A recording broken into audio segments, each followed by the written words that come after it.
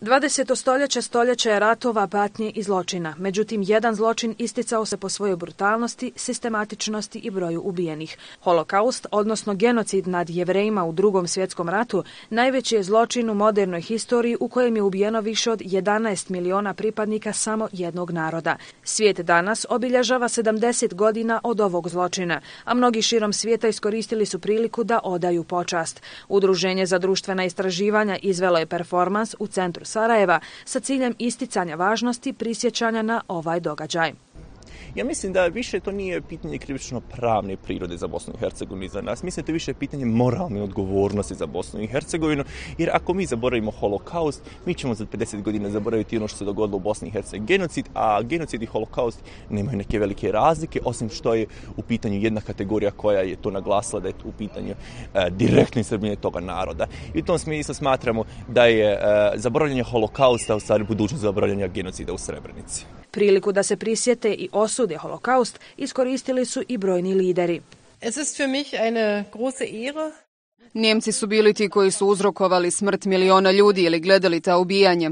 Bili su ti koji su vršili zločine, ali i ti koji su nijemo gledali i odobravali to zlo. Ukoliko negdje neko ponižava nekog Turčina, Arapa, Palestinca, Izraelca, muslimana, kršćanina, jevreja ili nekog ateistu, onda to znači da ponovo počinje Auschwitz. Holokaust je najstramnija i najgnusnija pojava u celokupnoj ljudskoj istoriji. Na način jedinstven po fanatizmu i svireposti, za kratko vreme ugašen je nemerljiv broj ljudskih života i to nikada ne sme da bude zaboravljeno. Ove godine je i 20. godišnjica genocida nad bošnjacima u Srebrenici i oko Srebrenice, Baš kao i u slučaju Auschwitza, počinitelji i oni koji su osmislili i naredili genocid u Srebrenici su poznati.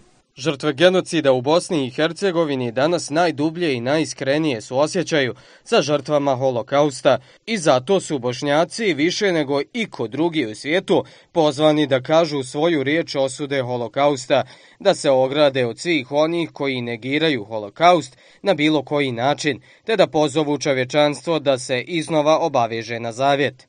Nikad više. Cerić naglašava da je Evropa taj zavjet iznevjerila u Srebrenici, te da je vrijeme sad ili nikad da se Evropa, ali i cijeli svijet, iznova obaveže na taj zavjet pred Bogom i svijetom, tako da naša djeca, naši unuci i njihovi potomci ne strahuju od novog genocida, posebno od onih koji još nisu odustali od negiranja genocida od novog zločina protiv čovječnosti.